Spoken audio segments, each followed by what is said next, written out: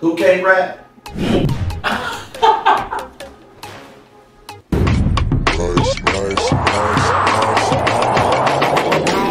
Hey, welcome back, kings, queens, anybody else on the rise in between. If you're new here, my name is Charles Daquan, and I'm your host of the pre-show, The Rise Atlanta, where I'm giving you hot topics, conversations that slip, and I promise to stir up some mess that you will not forget. So make sure every Thursday you tune in right here, because I got you locked and loaded with some information with The Rise. If you paid attention to this episode, J2 walked in, and the people of Chicago thought they was gonna eat my boy up. They just knew. They said, so you know where you at? You know where you at? Yeah, he knew where he at. He know exactly where he at. And if you notice on that second round, he ate him up and everybody was quiet. By that third round, nobody was talking. So J2, so do you. So let me run it back for you. One round and Jeff is a thing. And for the people out there that missed it, Hemmi and Ra, they a little thing too. They ain't make it, they ain't make it as far as what 1Drell and Jeff might have made it too. But I don't know. Y'all stay tuned. And if you can, if you will, jump in the comment box and let me know if you think they a thing or is it just a bromance. So I told you guys I could not wait to have my first guest. I asked you guys and you voted. So none other than the controversial Mr. Tay G himself. Welcome to the floor, man. What's going What on? What up, what up, what up? What's What's up? man? Coolin', coolin'. So I didn't get the opportunity to meet you at the premiere. You were busy, I understand. But I I gotta tell you, I have a thousand and one questions, so I hope you're ready to hop on board for just a few of them real quick. Ho- hopefully they're the right questions, but let's get into it. So this might be something that's a little the people been wanting me to ask you. Alright? I know you dropped a song in February last year, right? Mm-hmm. That was that wasn't Milk and Cookie, that was X-Pac. the G Mix. Yep. That was the G Mix, Mhm. right? Now in September, August, you dropped Milk and Cookies? September. September. Yep. And then January, you just dropped Pep Talk, which we we waiting on the music video now, right? Correct. Okay. So why you ain't dropped the song with you and Yo yet? Like there's a there's a big time gap between like all of that. So is let's, there like let, a let's let's get into that. Why I ain't dropped a song with who? Ayo or? Who? Cause as what I seen, Let me see. Talk to as me. what I seen, you said I'm whack. I can't rap. So nigga, you ain't run a mother song in the first place. Uh-huh. Let's let's let's be real. Let's not be fake about it. Don't do shit for the camera. Oh. Because if you really wanted to do it, you would have made it happen. Because you got the track and you got my number. So, but he asked you about it. Yeah, again, that same day, Uh-huh. I sent it to you. Okay. So for you to say why it ain't never happened and all that, all that, why didn't it happen? Because you ain't never wanted to do it. Because Okay. remember, I'm whack and I can't rap. So listen, I the people ain't going. They they want to know the answer, but me and you, I feel like we the most realest people that's in this little vicinity right now. Okay. So, do you think that 1Drell and Jeff, you think they like a thing? Hmm. Let me know. Give it to me straight. Dun, dun, dun. Love dramatics. But no, I, I don't. Like, again, like, I know that they're real cool. Okay. I'm not around them enough like that to even think something like that. And you know, sometimes in our community, people love to say somebody because you you know what I'm saying, certain situations and things like that. So again, I'm a nigga that mind my mother business. Okay. So asking me, I don't think so. Okay. So look, y'all in the comments, I want to know: Do y'all think that 1Drell and Jeff? Do you feel like this is like a a bromance or like? They walk into a relationship, No. or like they hold on, I'm not done with the people, or is it like a DL relationship where they don't want the people to know? You feel what I'm saying? We want to know. It could be a bromance. And nothing's wrong with a bromance. Hold on, But bromance. Hold on, but we got to define a bromance if that's the case. Then. So thank you. I want to take this opportunity to appreciate you for being my first guest on being my new position as being the host of the free show. So being my first guest, I want to go ahead and give you with this. But you getting gifts? You getting gifts? Everybody ain't getting that though. Everybody ain't getting that. Put that out for the That's record. because I ain't everybody. You feel me? You must.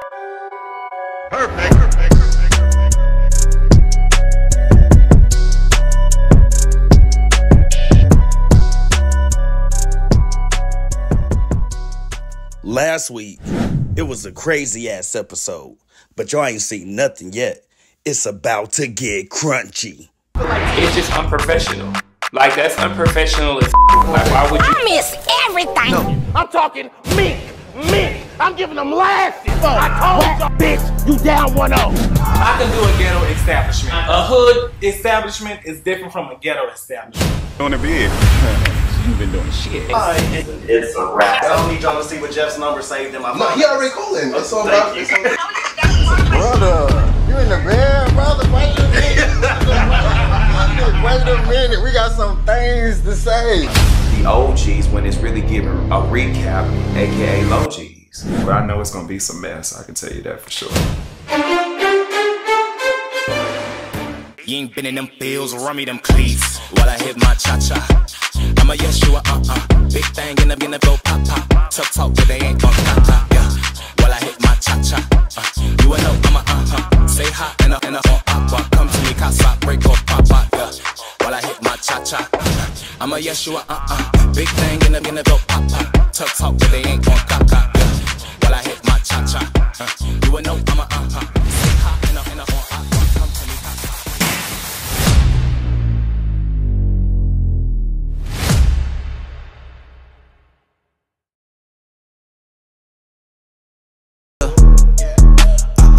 Say it with me.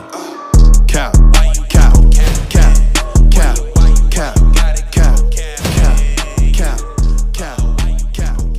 Don't like you don't like commitment. If I don't like commitment, I want to be a relationship type of person. No, you can be a relationship type of person and you just don't like to commit.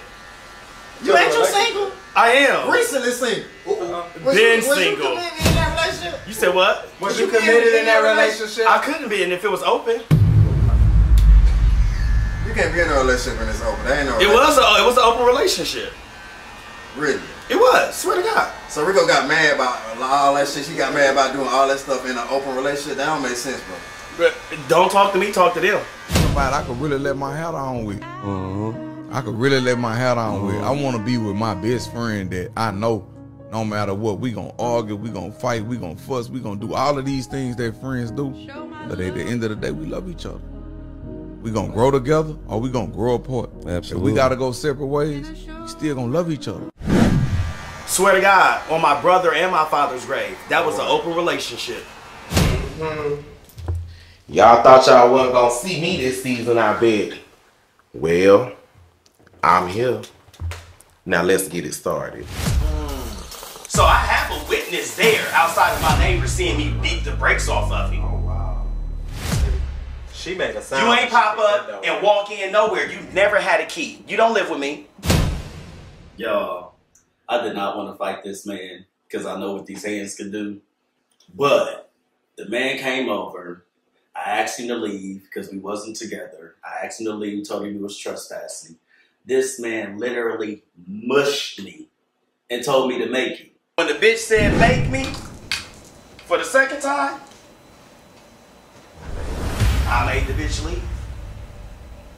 Then she thought about it because she couldn't see these hands coming at her. I don't know what the but the bitch came back and that's when she kicked the door in and keyed my car. Listen, I'm glad you're good though, and you happy and everything's straight, and you ain't got to worry about none of that no more. I do hope you find love again one day. Bitch, that wasn't love. So I should have gotten his ass the first time he did it, but you know, emotions is high, so I tried to pay it. I asked him to leave again, and he mushed me again and told me to make him. So you know, I ain't think twice about it. Up out of here, bro. How me and Tay started off was we really, really had a deep, deep connection real quick. And it was, you know, he he made me feel safe.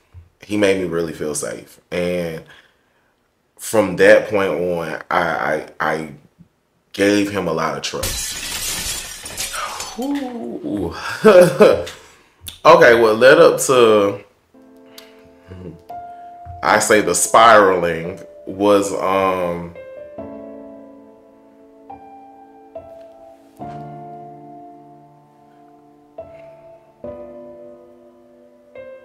I cared about Tangy. And he was out here really hustling, working, trying to be an actor.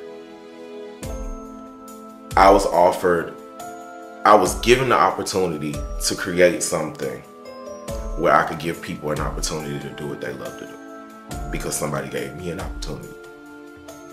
Not going to grind, not going to grind. hold on. What led to the spiraling into the fight was the disrespect. Why would you want to embarrass or disrespect a person that loved you enough to make sure you had what you wanted and cause so much chaos and confusion behind the scenes? You got people who I'm working with on set thinking that you around with somebody else on set and it's like, I'm coming to you trying to talk to you about it, and you like, oh, this ain't your business. I'm grown. We ain't got to discuss this. But you're making it awkward for me to be on this set because you sitting here making it look like something that is supposedly isn't. And you got everybody around me talking about it. And you cool with it. You cool with the disrespect. You cool with people coming to me telling me that you're telling people that you're only with me because of the show, because of some storyline for a show. This is what people on set are coming to tell are coming telling me that you're telling other people. So what led to the, the fight in the in the online rants was the disrespect that was given to someone who only wanted to give you something out of love. And you couldn't respect me enough to stop thinking with your and if you was gonna do messy shit, to do it at least at least at least neat enough to where it don't embarrass the person who put you in that position. And the way things were looking, I can understand. I'm not even gonna say why. I'm not even saying I'm mad about the restraining order because I can understand because I talked to his mother. His mother was the reason why he took out the restraining order. I do feel like he finds it fun I do feel like he likes the pettiness of it all. And a part of me feels like it gets his dick hard because he feels like he that man that he got a nigga chasing after him, making him making going crazy over him. Because let's let's be honest, Tay is narcissistic. That's a fact. One, two, your stock is coming for you. Three, probably lurking at the door. Five, six, ain't giving no more. Y'all, my life has been a living fucking hell. I don't see this man in my dreams damn sure at all, but it definitely feels like his nightmare on Trashadine Street. Sitting here come my blessings. Uh, ain't no need for stressing in my life. My enemies, form weapons. Yeah. But I know I'm protected by the blood, protected by the Well, today I'm having a meeting with my executive board, and you already know that I have Team Dinae, the singing side, but Team Dinae has an executive board. And this executive board is made up of my managers my musical directors my executive producer for my record um, my hospitality coordinator my productions manager my road manager my personal assistant um, and also my chief administrator for both Team Dinae and Exploring Your Gift, which is my coaching business. The purpose of this particular meeting is that I have a brand new single that's out and we need to push it to radio. I feel like this is the single that will that we do need to push through to radio.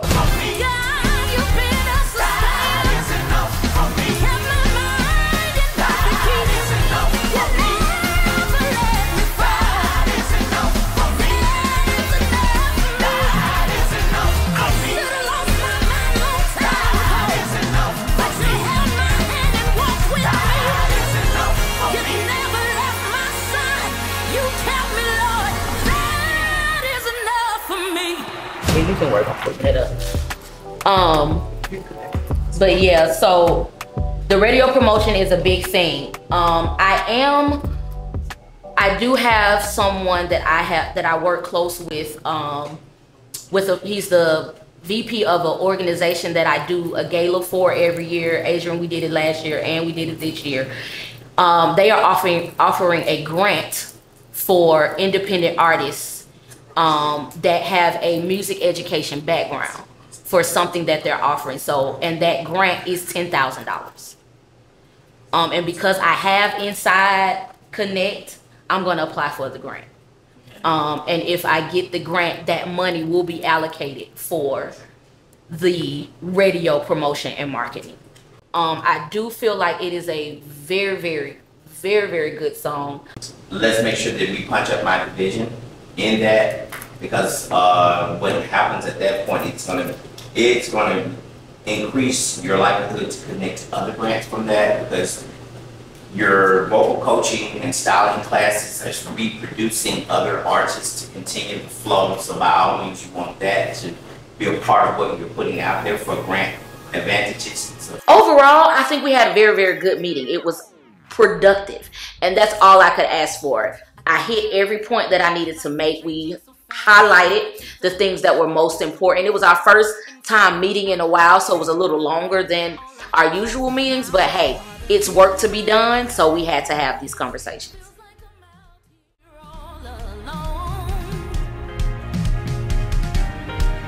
Now I'm trying to figure out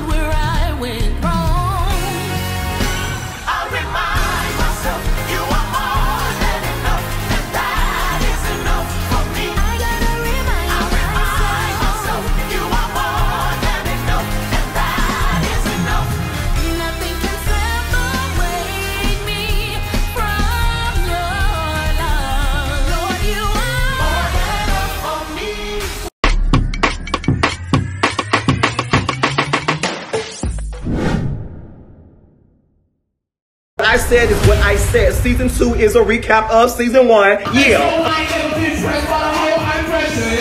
I want everybody to find one thing before we get started that you want to manifest for your career this year. Like my family, bro. If you talk about me being adopted around them, they gonna look at you crazy. Yeah, like they may want to yeah. fight.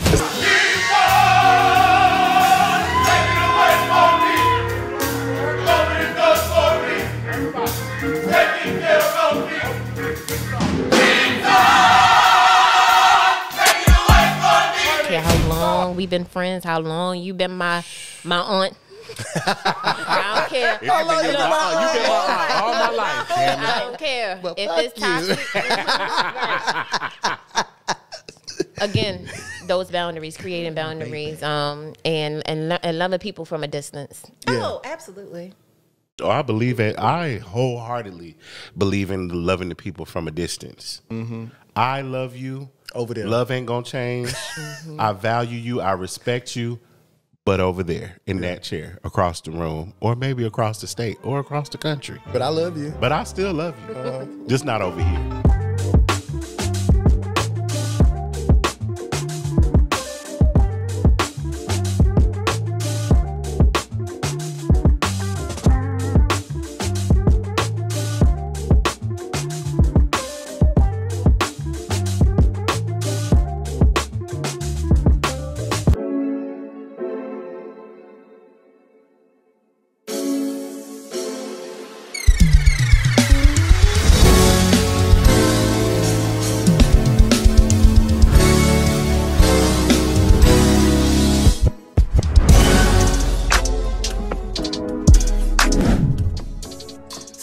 Today Fest. I'm super excited because it's also my birthday. And I do this every year around my birthday. It is 30 minutes before showtime, however, and nothing is in place. My bar's not here, the bartender's not here. Still, the stuff's still not set up. We still figuring out sound. The sound is still not set up. Um, everybody's here though. Everybody's here. It's just all the other shit's not here. So I'm super duper excited today for Hemmi Fest because, like I said, this is the first time that I'm actually doing like a real performance performance. Like I'm used to just hitting the stage and just like kind of letting the spirit take me, but like for the fact that I got cues, I gotta be here and I gotta be there. Stuff gotta be set up. People gotta be in place. This is a whole different energy. So like my just prep and getting ready for today, it just feels way different from any other time before. Okay, if y'all could, like I said, stay back here. If you could, please stay back here because y'all already decided putting y'all clothes on. I don't want nobody to see y'all looks. Like I want everybody to kind of be like, oh shit, and then you're gonna lose the oh shit if y'all just out here turn it up with them. Do that after, okay? Um, and just relax. Stay in the air conditioning. You know what I'm saying? Just chill. Everybody chill. We're gonna try to run through the show as quickly as we possibly can because we are. Um, we are gonna take a small little break, but when we take it, I'll let y'all know. I'll put it in the group chat for the choreographers, and they will let y'all know what's going on. Like I said, they have the list. Let's just have a good show, y'all. Good energy. Um, I told everybody. I don't know if y'all. I don't know if y'all saw it, but I want everybody to find one thing before we get started that you want to manifest for your career this year. And hold on to that tonight. I mean, I don't even know why you girls bother at this point. Like,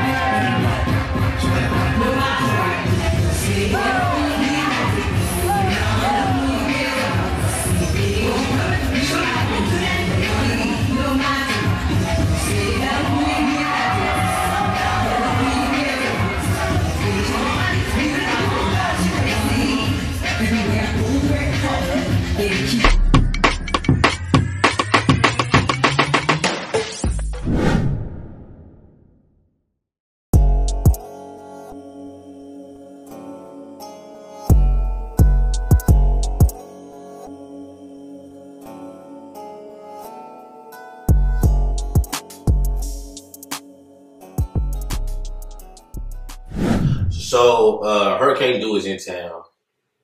I haven't seen her in a minute. She been gone, uh, running around the world. Like if you know who Hurricane Do is, you know she's never sitting still. You know what I'm saying? Sis is always outside. So um, she's pulling up. Uh, my brother Stokes, you know what I'm saying? We about to sit down, chop it up. You know what I mean? Have a couple drinks and just kind of like unwind. So wait, did I update you on everything that happened with the whole little adoption shit? Mm-hmm. You told me a little bit, you know what I'm saying, A little pieces here and there, but you didn't give me like the all the details and all that shit. So okay, so you see my third round versus Mac. Yes. The third round versus Mac, I could barely get through it. Now, okay, think I couldn't get through it because I was emotional. No, I was just shocked that I had beat the shit out of Mac Myron already.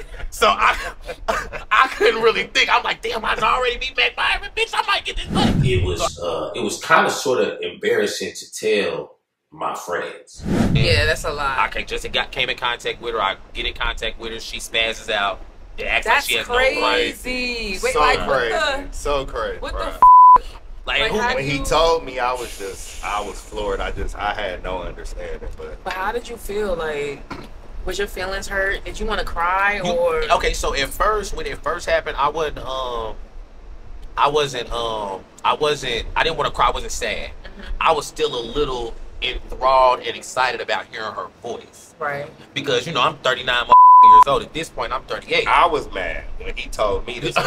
I was more mad. He- Like it's not something that you go around telling people like, especially when it turns out the way it turns out. You know, she doesn't want anything to do with you, blase blase woo. So it's like having that discussion. Um, it was it was it was. I needed Hurricane Do and Stokes to be there, um, for me to talk about it, and so I could hear what they had to say about it. But not only that, just to kind of look at them and see them not look at me the way that I felt like they possibly could. and her her approach is very much like I'm tired. Why are you doing this to me? She feels like I'm doing something to her by reaching out, and I'm like, what? you- what do you think? You know what I'm saying? Like, what were her wording though? Like, well, it was. It was well, I, I ain't gonna cap. Mama got real sideways. She was like, I could have did something else.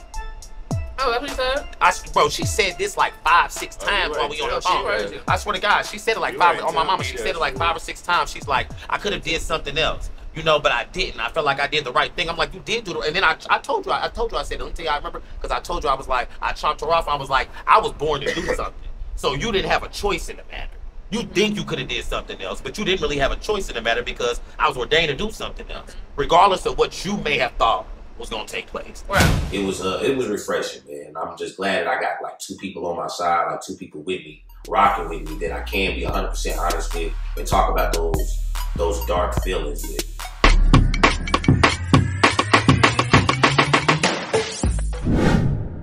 You're something I'm not. Never.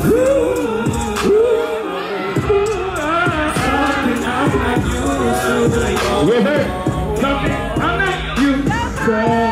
your face, right? Wonder what you taste like. Wanna eat you up into the daylight. with dancers, choreography. He had to make sure he met his marks and everything, but his performance quality is absolutely a one. Like when I tell you he's spot on tonight, he is spot on tonight. Take a couple day. Love growing old like that. I don't get it. The reason that you following me. When you're so deep counting me. Music is good, his energy is good, the look was top tier. I'm super proud of him. Um, yeah, he did his big one. So since I perform the same music every single time that I do a show, because you know I am booked and busy, unlike some people. I wanted to do a new record tonight just to kind of test it out and see how the folks is feeling about it. Do a little chant, a little call and return. I think that's what it's a call and a answer, something like that. But I'ma say I ain't never been pressed by the hoe because I'm pressure. Ella. The AKP or Morgan, I ain't chasing. Running, I'ma call you replacement. Ain't a hoe that I'm saving. Come on, let's go. I ain't never been pressed by the hoe. I'm pressure, y'all. Tesla, y'all.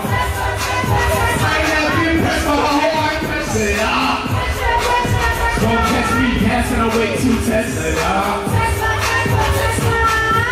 My name is Ayorashawn. Shout out to Hemingway.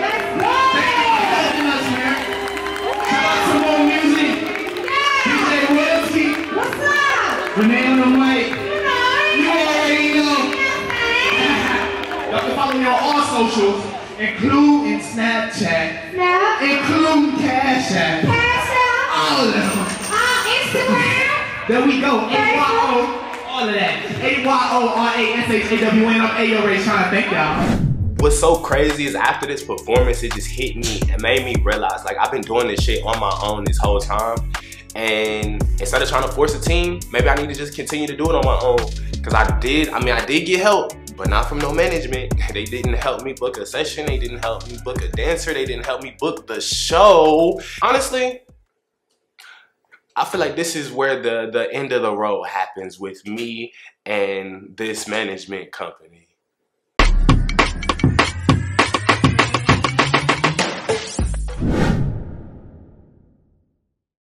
They say my price ridiculous. I don't like them bitches. Pussy tight and vicious. Hit them likes to lick this. Screaming fuck the opposition. Toting Glock.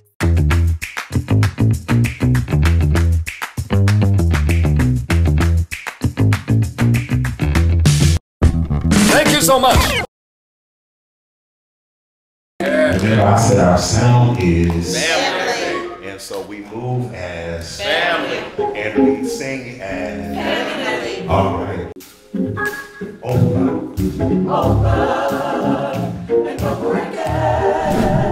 So now it's time to rehearse. It's game time. Um, we about to get ready to prepare for our show that we got coming up, and I got to make sure that my people are on point. So um, I got my game face on. I got my director's hat on. It's time to go. Come on, come on. Over, over.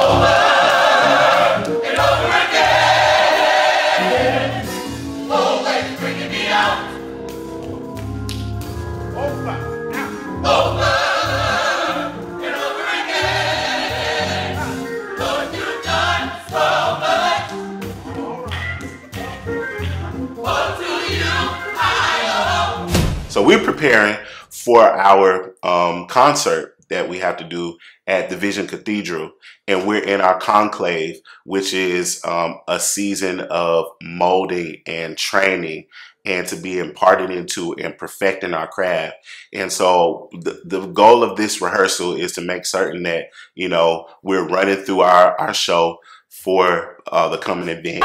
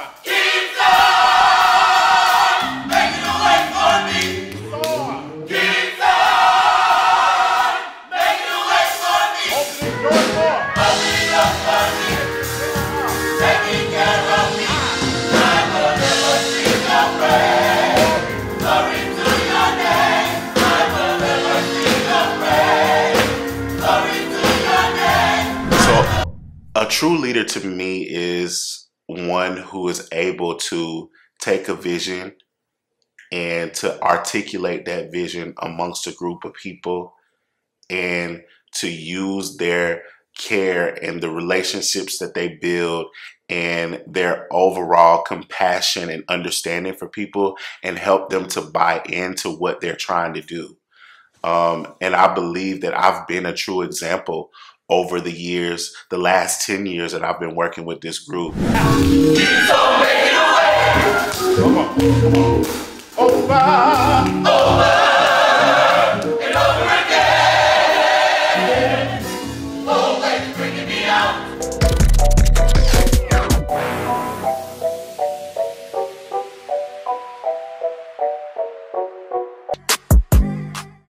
Jeff gets on my nerves so bad. I'm tired of this shit. No. That's my Jeff is an amazing director. He's an even more amazing friend. I've known him personally for maybe over the last two years. We've got to know each other a little bit better. Jeff, he loves to keep things in order. Jeff is an amazing person.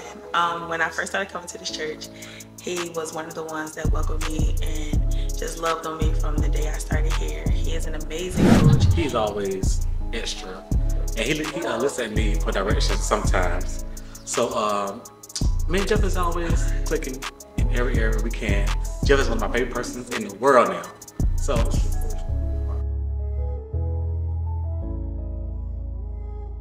A lot of niggas waited till I dropped and go and listen. This ain't on whack, but hear my rhymes and all that shit they spittin'.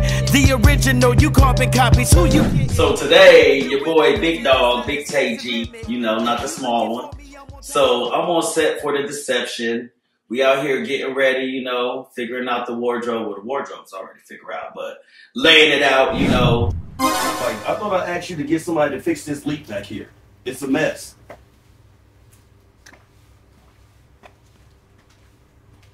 Shauna, superb performance tonight. Thanks. Not the axe. What's up with you taking us song from me and Jesse and giving it to J. Ron? Now, this next artist that's about to hit the stage made his debut in 2014 on the label, and he's been topping the charts ever since. Ladies and gentlemen, I need everybody to get up on their feet so they can rock out with the GOAT himself, J. Rowe! So as we here and I'm doing my thing, you know, I already got dressed, come back out, you know, wait until it's my time because it ain't just me filming today. It's other castmates um, of the Deception filming and things like that. I see my little bro, my homeboy Ayo walk in the building, and I'm like, wait a minute, what's up, bro? What you doing here?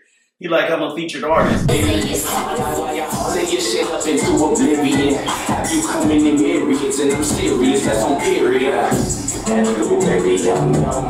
Let me pull up and I'll put it in your tum tum. Beat it up, rum, um, um, um, um. Get up, slip it and repeat it until the sun come. Thanks, baby. Thank you. Make sure you follow me. Oh, please, thank you, thank you. So he actually casted me, and I actually appreciate that. Thank you. Forever grateful. Um, yeah, he casted me for that, and you know, I showed up and did my thing, and that was all she wrote.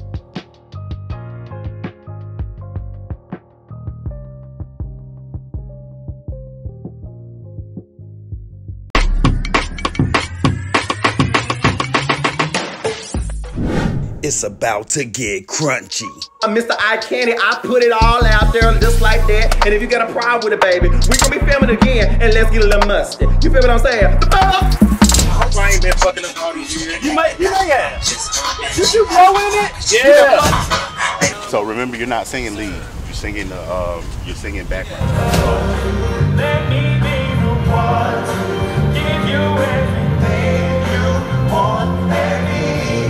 like from your dancers, I don't think that you would do that with your dance. I don't think you would be like, oh, this person halfway got, I'm still use them.